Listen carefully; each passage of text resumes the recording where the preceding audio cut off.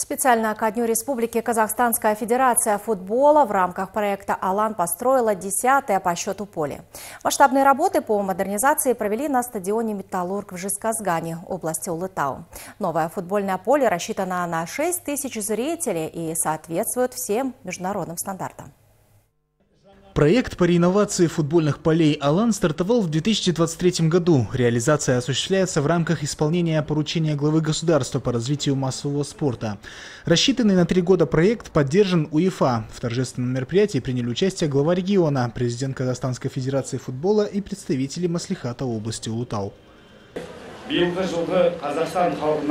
В рамках проекта «Алан» был модернизирован стадион «Металлург», чья история насчитывает порядка 60 лет. Глава государства в послании народу Казахстана в этом году особо подчеркнул развитие массового спорта и дал соответствующие поручения.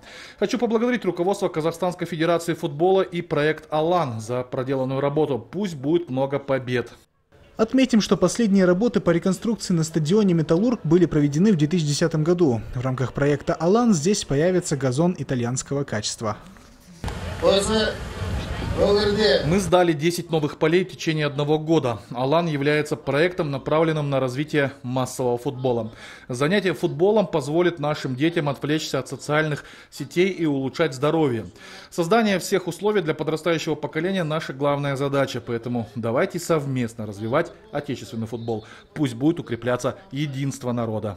Всего в рамках проекта «Алан» на 2023-2025 годы запланирована модернизация 20 футбольных полей по республике. Ранее в эксплуатацию были введены футбольные поля в городах Алматы, Шимкент, Ахтубе, Петропавловск, Ускаменогорск, Аягоз, Ахсу, Балхаш и область Жетысу.